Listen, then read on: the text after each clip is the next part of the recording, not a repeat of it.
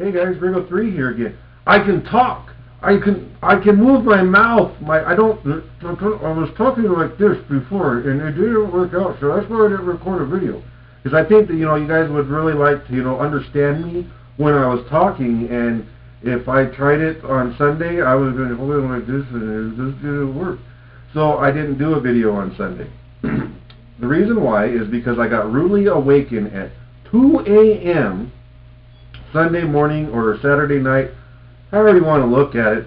But I got woken up and from a really bad tooth pain. My wisdom tooth over here decided that it was going to come in at 2 a.m. in the morning. Know, couldn't wait until like 9.30 the next day when I generally get out of bed. No, 2 a.m.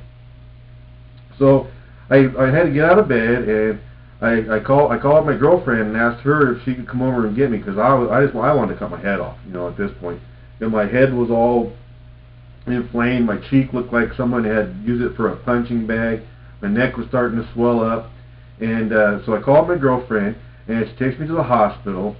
And they and they tell me you know it's just the wisdom tooth that that it's coming in and it's impacting against the the tooth that's in front of it and everything. So I was like oh okay great so I figured, you know, they just give me some pain painkillers, you know, pain pain pillars, pain pillars, some pain killers, some pain pills, and uh, you know that would be the end of it. No, these guys, they I don't know if they went to the OR or what they did, but they went and got some anesthetic. Yeah. So, and, and, they injected that into my mouth. So then, after about maybe 30 minutes of laying there, the pain started going away, but so did the feeling in my face. So I was talking like Popeye. So I was kind of talking out of the side of my mouth like this, like Popeye the Man. And this is the way I talked up until like four hour, four or five hours ago, because it's you know it's this is Thursday evening, November 17th, 18th, something like this. I don't know.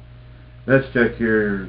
November 18th, Thursday, um, 8.30 p.m. here in Colorado Springs. That's the time that I'm recording this video.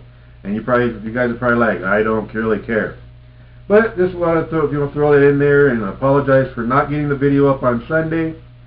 Um, uh, I got a lot of a lot more uh, free time. I got some things um, delegated, and I've done some outlines for some more videos that I'm going to be doing.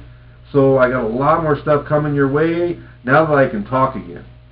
But have you guys ever had a wisdom tooth come in and did you did it like envelop your entire head in pain and swell up your neck and everything? If you know, if if so, go ahead, leave a comment below and, and, and tell me what what what happened and well, you know what what all you went through with it and everything like that, or leave it in a video response. Either way, I'm really interested in in learning more about this stuff and seeing if I'm just a wimple that couldn't handle the tooth pain and had to go to the hospital and get anesthetic pumped into his cheek so he couldn't feel his face and his whole his, my I mean my eyeball was even like this was sagging down like this you know it was my my eyeball's usually right here but no it was like down here in my cheek and my cheek was down here in my neck and my neck that was we, we're going to discuss what that was. But yeah so but Monday I actually I made it to the dentist and uh he pulled out some funky tools. So I used to be a mechanic, you know, so I I've, I know what tools are.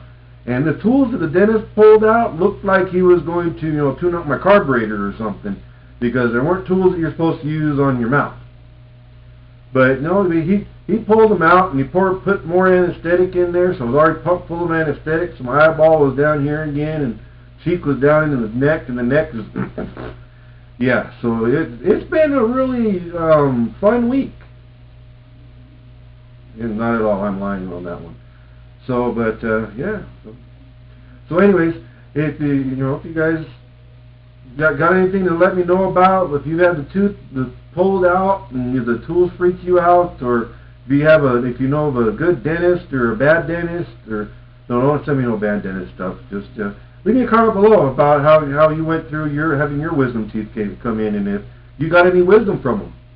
So uh, yeah, but anyways, thanks for subscribing, guys. Thanks for thumbsing up and leaving comments. I'm really enjoying them. All the video responses that I'm getting, those are a lot of fun to watch. You know, because you guys are you're hilarious. you know, they're just a lot of fun. So, you know, keep on subbing, keep on giving me a thumbs up. And again, this is Rickco3, and I'll talk to you soon.